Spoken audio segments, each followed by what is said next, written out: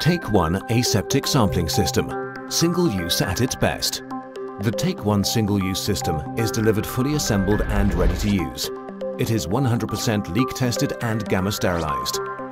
The stainless steel mount enables you to steam treat it and facilitates validation. TAKEone is connected to a tank or tube with a 1.5 inch or 2 inch stainless steel connector. The stainless steel surface of the mount and the silicone septum are sterilized when steaming the tank before filling it. For sampling, the cannula is pressed through the silicone septum. This stretches the silicone seal inside the system, which is attached to the cannula.